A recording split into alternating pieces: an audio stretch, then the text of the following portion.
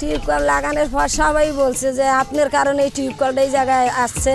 আমরা কত বছর বেরি করছি এই মেম্বার স্যার মানে এত সুপারাশি করছে, কত ভালো ভালো লোক, কেউ একটা টিউবকল আনতে পারেনি। তো আপনি নাগরিক কমিটির মেম্বার হইয়া তো আপনি একটা টিউবকল আমাকে বেরির ভিতরে আনাইছেন। সেই আপনার উচিলে আমরা সবাই পানি খেতে পারছি।